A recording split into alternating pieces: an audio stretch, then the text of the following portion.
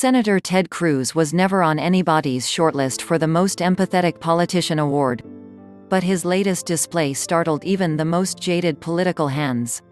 With Cruz's home state, Texas, buffeted by a snowstorm that has caused widespread power failures and claimed dozens of lives nationwide, Cruz got on a plane last night and flew to Cancun, Mexico, for a family vacation. Photos began circulating on social media this morning, accompanied by a chorus of dismay and ridicule. Early this afternoon he released a statement saying that his kids had wanted to take a vacation and arguing that he was still able to work from abroad. Wanting to be a good dad, I flew down with them last night and am flying back this afternoon, he said, adding that he planned to come home today.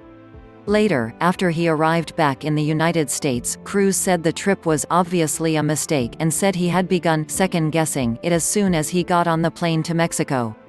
But it hardly quieted the outrage.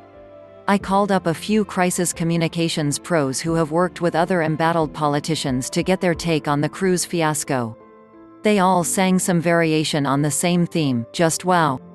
You can pretty much do damage control for anything, and I think he could do damage control for this, said Lis Smith, a Democratic strategist who worked on Pete Buttigieg's presidential campaign last year.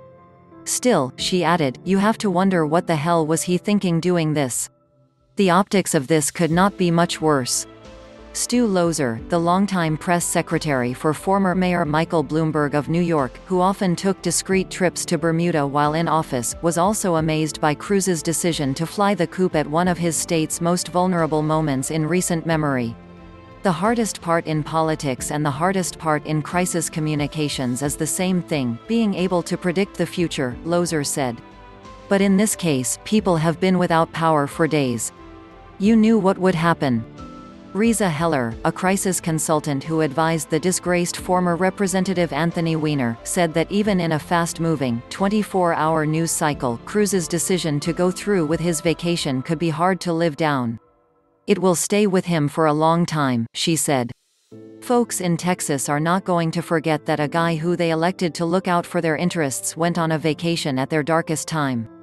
She added, sometimes someone goes out of town and something crazy happens and they have to come back. You can say, I understand that. But this is not that. This storm happened and then he left. It sends a real message to his constituents. I guess time will tell if they'll forgive him, but it's pretty unforgivable. The Republican strategist Joel Sawyer helped former Governor Mark Sanford of South Carolina weather the 2009 scandal over his secret vacations with a paramour, which nearly ended his political career.